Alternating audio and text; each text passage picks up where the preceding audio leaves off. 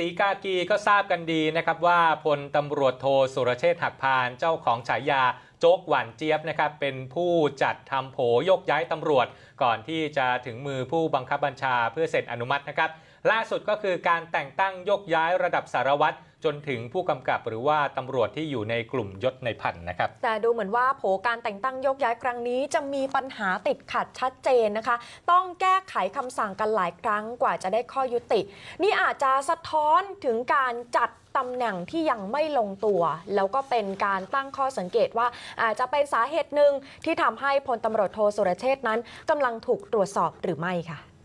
และไม่เกี่ยวข้องอะให้กลับไปเลยนะครับ คือถ้าจะมาวิ่งเต้นเนี่ยต้องกลับไป นะครับนะที่นี่มันมีแต่สถานที่ทำงานคือถ้าจะมาเอาใจมาวิ่งเต้นต้องนิมนต์กลับไปนะ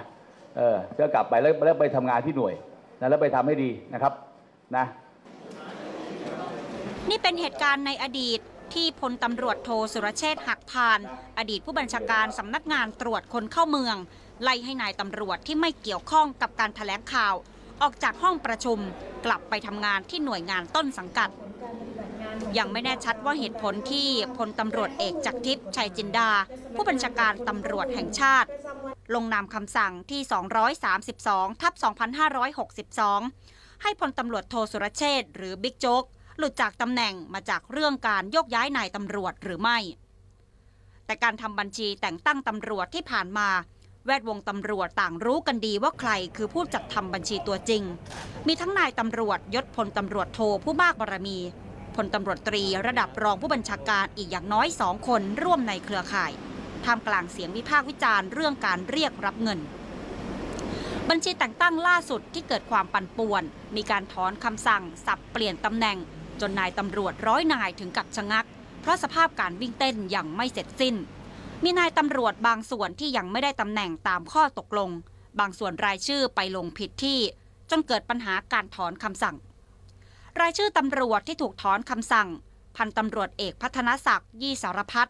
นายเวรพลตำรวจเอกสุชาติธีรสวัสดิ์เจรตำรวจแห่งชาติคำสั่งแรกเป็นผู้กำกับการสืบสวนสอบสวนกองบังคับการตำรวจตรวจคนเข้าเมืองสี่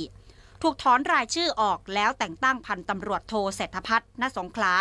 รองผู้กำกับการตำรวจตรวจคนเข้าเมืองศรีสะเกดมานั่งแทน